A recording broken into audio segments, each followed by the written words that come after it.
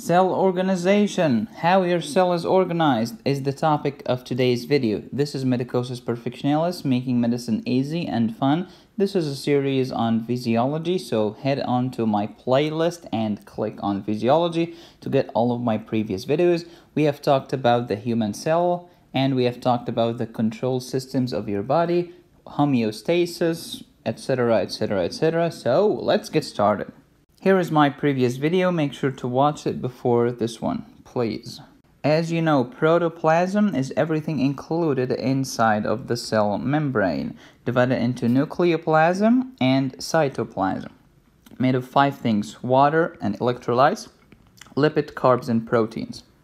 Cytoplasm, everything included in the cell membrane except for the nucleus. It contains the cytosol and organelles, tiny organelles like these. Cytosol is the area of the cytoplasm that's not held by organelles. Cytoplasm minus organelles equals cytosol. So the protoplasm is cytoplasm plus nucleoplasm. Cytoplasm is cytosol plus organelles. The protoplasm is made of water, electrolytes, proteins, lipids, and carbohydrates. And this is, of course, the cell membrane. 80% of the protoplasm is water except fat cells of the adipose tissue or your fat tissue because fat and water do not mix so do not expect to find water inside of these fat cells. Proteins make up around 15%. We have two types of protein, structural proteins which are immobile and functional proteins which are mobile. Structural such as cytoskeleton and functional such as your enzymes. So if this is the cell membrane like here, there are integral proteins spanning the entire length of the cell membrane. These integral proteins provide entrance, forming pores and channels for molecules to pass through. Now let's turn our attention to electrolytes. If you are a sports guy, you have heard of water with electrolytes that you pick up off the shelf to drink and rehydrate and replete yourself after running a marathon. So what are electrolytes? They are substances that produce ions when dissolved in water. Perfect. So we will have positive ions called cations and negative ions called anions. Example, we have the sodium chloride and it will give us positive ion of sodium and negative ion of chloride. Major electrolytes in your body are sodium, potassium, chloride, calcium, magnesium, bicarbonate, and phosphate. Very cool.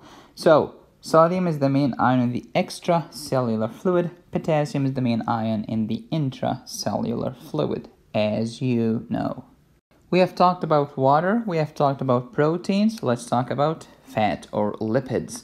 They are insoluble in polar solvents such as water, but they are soluble in fat or nonpolar solvents such as cholesterol, phospholipids, and proteolipids. What's the difference between proteolipids and lipoproteins? Let me know in the comment section.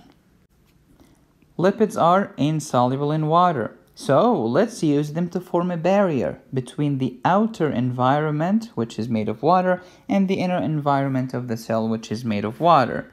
Oh, so let's make the cell membrane of lipids to separate the water outside of the cell and the water inside of the cell. That's why your cell membrane is a phospholipid membrane made of phospholipids and some cholesterol.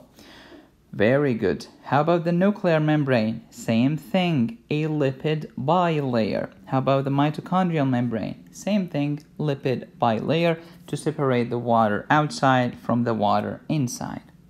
But what about fat cells? Fat cells have triglycerides. More than 90% of fat cells is triglyceride. They are also known as neutral fat.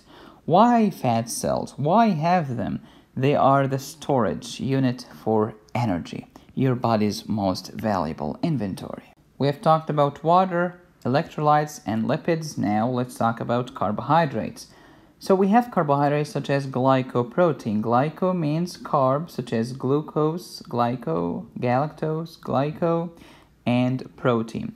So these proteins have undergone post-translation modification, especially glycosylation, adding carbohydrates to the protein to form glycoproteins.